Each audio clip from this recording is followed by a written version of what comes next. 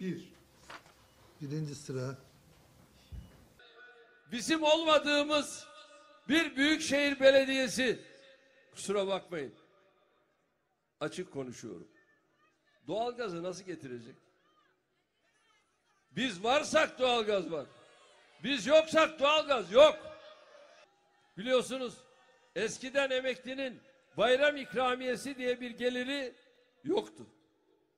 Bu uygulamayı ilk defa 2018 yılında biz getirdik. Önce 1000 lira olan bayram ikramiyesini evvela 1200 liraya sonra 2000 liraya çıkardık. Önümüzdeki bayramda bu rakamı yüzde 50 artışla 3000 liraya yükselteceğiz. Mal beyanımı ben açıkladım.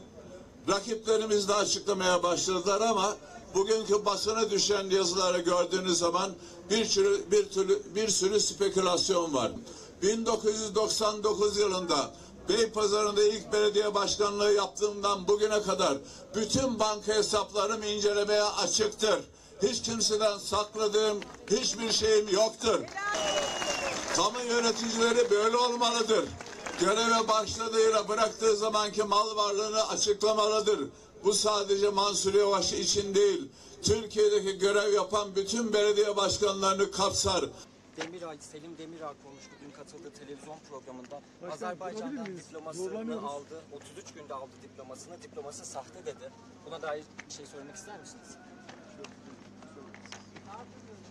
Hep yalanlarla, iftiralarla soru soruyorsunuz.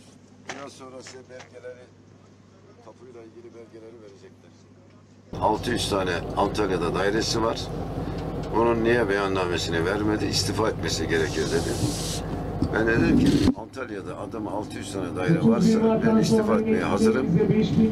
Yoksa bu çamuru atan, bu yalanı söyleyen, çamur, yalan kervanına katılan Sayın Yavaş'ın da zerre onuru varsa istifa etmesi gerekir dedi.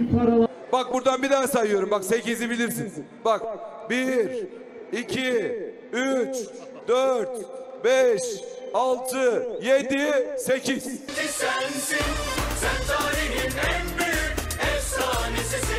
Aynaları da yok bunların. Ayranı yok. İçmeye.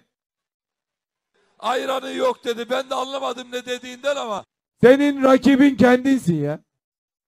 Sen bir kendine şöyle aynaya dön bak. Aynada görürsün. Aynaları da yok bunların. bir de emekliye verilen ya da verilecek bir farkı bütçeye yük olduğunu söylüyor. Siz İstanbul'da Ekrem İmamoğlu'yla uğraşacağınıza gidin ekonomiyi düzeltin. Gidin milletin hakkı olanı millete verin. Ya Bakanlar niye sahada? E bakanlar zaten sürekli sahada. Bakanlar sürekli milletin arasında.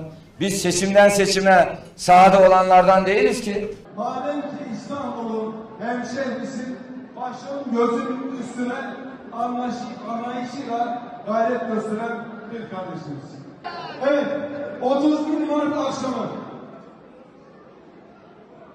sandıklar açıldığı zaman İstanbul'u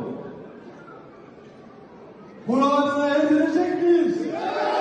Demokrasi tarihimiz boyunca devlet ile millet ne zaman yarıştıysa millet kazanmıştır.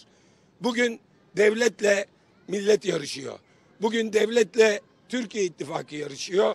Milletimiz yine millete kazandıracaktır. Girdiği seçimde birinci parti yapan lider Genel Başkanımız sizlerle bir selfie yapıyor.